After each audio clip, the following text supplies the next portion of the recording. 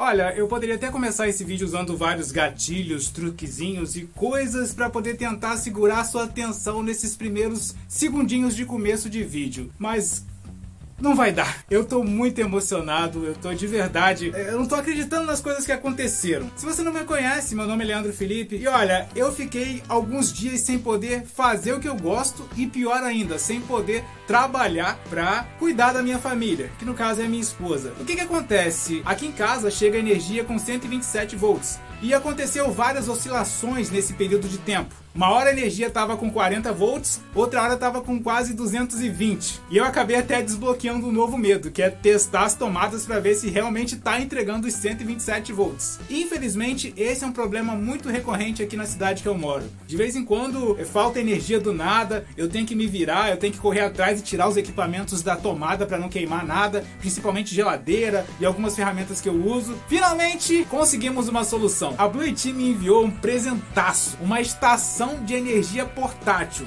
E detalhe, com painel solar e tudo. Eu tô falando da estação de energia portátil Bluetooth AC180. Cara, eu tô, eu tô muito ansioso. e agora descobri que é uma caixa dentro da caixa, então eu vou ter que dar um jeito de tirar ele aqui de alguma forma, não sei como. Claro, isso deve ser para ficar bem protegido, né?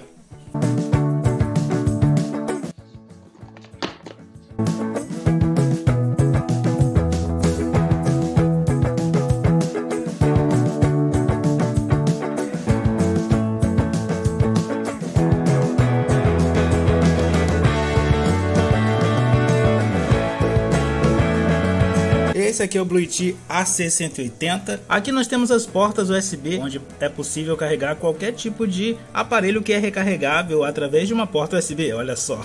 Por exemplo, celular, caixinha de som. Aqui também tem uma entradinha tipo C para os aparelhos um pouco mais modernos ou de outras marcas. Aqui tem o carregamento através do acendedor de cigarros do carro, então é só conectar aqui. E a saída AC, que nesse caso aqui é uma saída AC de 120 volts. Aqui do lado tem o encaixe para o parafuso de aterramento, também tem o circuito protetor e a entrada do cabo de alimentação para ligar direto na tomada e carregar o Bluetooth, onde eu coloco esse cabo aqui e ligo direto na tomada. Essa daqui é a versão 125 volts, então tá tranquilo. Aqui atrás nós temos todas as informações técnicas do aparelho, como por exemplo a tensão de entrada, que é de 120 volts, como você pode ver aqui no cantinho, e todas as informações necessárias. Então é muito importante você ler antes de usar, além do manual de instrução, para não cometer nenhum erro. O sol resolveu sair, então eu vou colocar aqui o painel solar para carregar aqui na escada da minha casa. Eu estou pensando aqui numa forma bacana de colocar e guardar o painel, porque quando houver algum problema de uma falta de energia, é claro que eu vou usar o sol para recarregar o Bluetooth, né? Apesar dele recarregar na tomada também, né?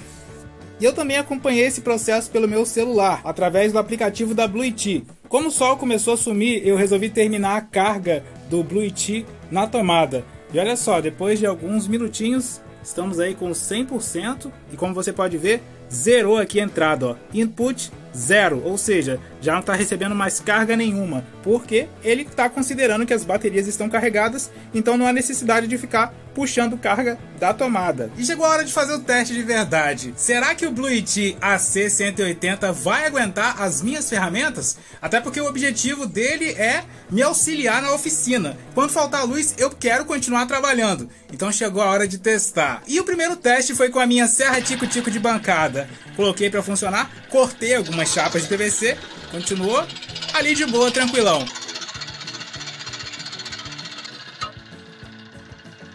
Mas eu vou pegar uma ferramenta um pouco mais pesada. Eu quero testar na minha lixadeira feita com motor de máquina de lavar roupa. Vamos descobrir isso agora.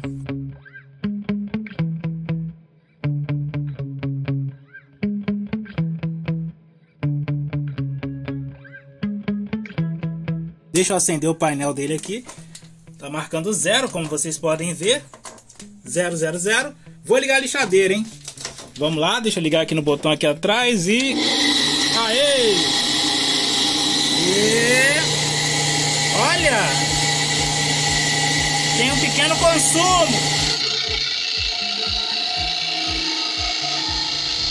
E não é que ele conseguiu aguentar de boa a lixadeira. Essa é uma das ferramentas mais pesadas que eu tenho aqui na minha oficina e ela aguentou tranquilamente.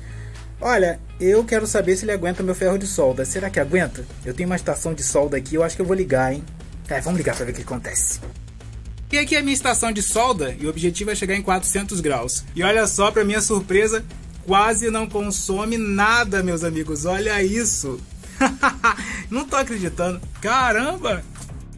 O Blue Tea passou na prova do ferro de solda. Mas e a pistola de cola quente? Será que ele dá conta? Agora eu me empolguei, hein? Vamos testar a pistola de cola quente para ver se ele dá conta de ligar a pistola para que eu possa trabalhar, né? Eu quero trabalhar. Olha isso! Pistola de cola quente conectada, ligada e aquecendo. Olha que maravilha!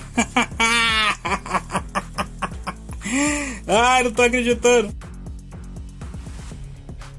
E tá aqui o Blue já no lugar que ele vai ficar alimentando o meu PC. Agora eu posso voltar a editar os meus vídeos tranquilamente. E olha só o consumo só do computador ligado. E aqui tá marcando que eu posso usar ele por mais ou menos 14 horas. Eu não comecei a editar ainda, usar o máximo do computador, mas já dá para ter uma estimativa de tempo, de quanto tempo eu tenho para usar o Bluetooth sem recarregar. Ele não está limitado apenas a ligar as ferramentas da minha oficina. Eu posso ligar várias outras coisas, como por exemplo alguns tipos de eletrodomésticos. Se por acaso eu ficar no apagão, eu não vou ficar no escuro e nem sem internet ou televisão, por exemplo. Eu posso ficar de boa aqui assistindo uma série, um filme. É só ligar a televisão e o roteador no Bluetooth e ficar assistindo de boa. Se você é inscrito nesse canal, eu sei que você tá feliz pela minha conquista. Então eu te peço um grande favor Clica no link aqui embaixo da descrição e acessa o site da Blue Lá você vai encontrar todas as informações técnicas desse aparelho. E se você se interessar, adquira o seu. É uma baita de uma ferramenta, ajuda pra caramba,